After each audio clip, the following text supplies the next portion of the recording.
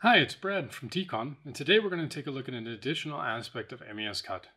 More specifically, we're going to take a look at our hall plan and all our visual overviews of various different areas of pr production to give you an idea of what's possible. So let's dive in. So we want to provide enough information for, for plant managers and also shift supervisors to take a look at what's going on on the shop floor, and there's various different ways you can visualize that. So for example, we have here our hall plan. Now this is of course just an artist's rendition, um, just to give you an idea of what's possible, but you can see there's like kind of like live KPIs available.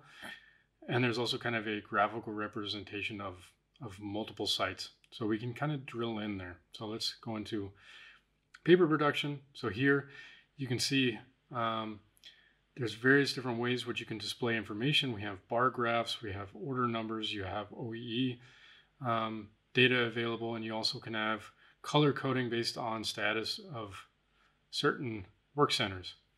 So for, for example, we're going to dive in here a little bit on the paper machine.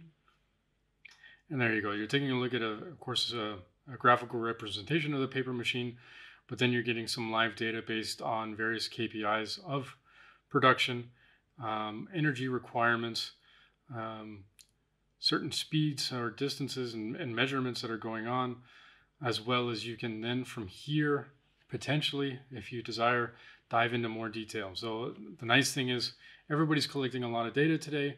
So there's a lot of tools available um, to analyze that data. So for example, here is um, an analytic list page where you can take a look at graphical representations and do custom analytics of data you're collecting with the MES system, but I will go into that in more detail in a future video. So please stay tuned. Check out um, the, the other videos in the series on our MES CAT. And until then, have a great day. Thanks.